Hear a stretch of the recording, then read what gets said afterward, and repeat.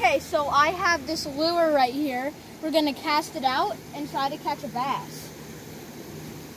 Let's go. Okay, we threw it out there. Something's wrong with this thing. Okay, so now reel that in. We got one. Here we go. Look at this bat we just caught immediately. Look at that.